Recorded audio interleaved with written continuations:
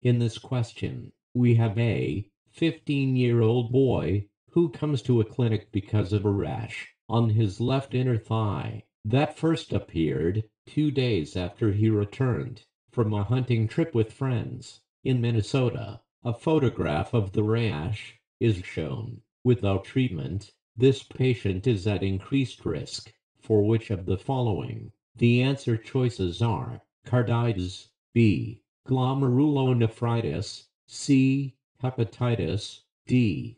Pancreatitis, or thrombocytopenia. Pause this video. You can answer this question, unpause, and check the correct answer. Alright, the correct answer here is A. Carditis.